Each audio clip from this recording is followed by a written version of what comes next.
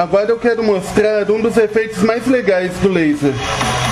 Você às vezes coloca uma música e você tem esses efeitos programados.